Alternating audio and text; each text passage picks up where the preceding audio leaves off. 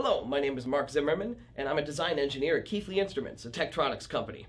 And I'm here to show uh, a pretty simple technique for making some pretty difficult measurements. I'm going to use a 6517B, an electrometer and a high resistance meter from Keithley, and a plastic cup to measure some insulation resistance that's somewhere between 100 tera ohms and a petaohm. That's 10 to the 14th, 10 to the 15th ohms. Now, the electrometer can source plus minus 1,000 volts. Uh, it can measure very small currents. It's got a 20 picoamp range that goes all the way down into the uh, attoamp resolution. And it can measure resistances up to 10 to the 17th or so ohms. Uh, however, measurements like that are usually done in a shielded chamber, away from people, away from lights, away from any distortions, because even the smallest sources of noise and capacitance can couple into your device. Well, I'm using a few tricks to make my almost petaohm measurement doable in a plastic cup sitting on my desk. So I've got the instrument set up to source 100 volts.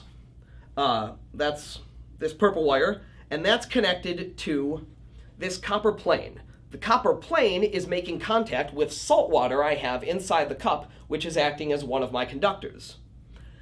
The other wire here, the red wire, ignore the black and the green, they're just floating there.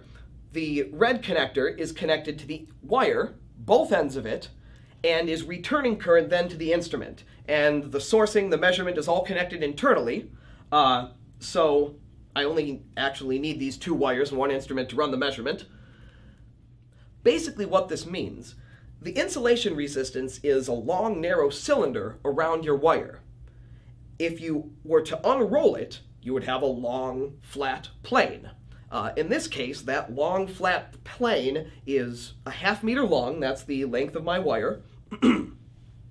it's around 200 micrometers thick, and the circumference is about 3 millimeters. So I've got a 500 centimeter by 3 millimeter by 200 micrometer plane. And what I'm doing is I'm pushing current from one side to the other side of this long, narrow plane by applying voltage from the outside to the inside of the wire.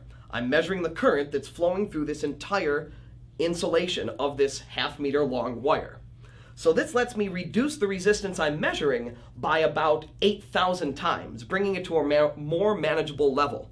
In addition, so let me turn on the voltage source. You see, in addition, the water itself is acting as a shield. I don't need additional shielding to get this measurement. Because the instrument is energizing the entire salt water to 100 volts, and the only conduction I care about is from the outside to the inside of the wire's insulation, the remainder of this water is shielding this wire from distortions. I can move my hands around and see only tiny changes in the measurement anyone who's measured gigaohms before would know that waving your hand near a gigaohm resistor sitting in the air would ruin your measurement for quite some time. Uh, but because I have the water shielding it, I can do this right here on my desk and not have to worry too much. So, turn on the filter and stabilize my measurement. You can see we've got about 29, 30 gigaohms that I'm measuring that corresponds to roughly 240 teraohm centimeter as the volume resistivity of this material. So there you go. Hundreds of teraohm level measurement done in a plastic cup, salt water, and a Keithley 6517B electrometer. Thanks.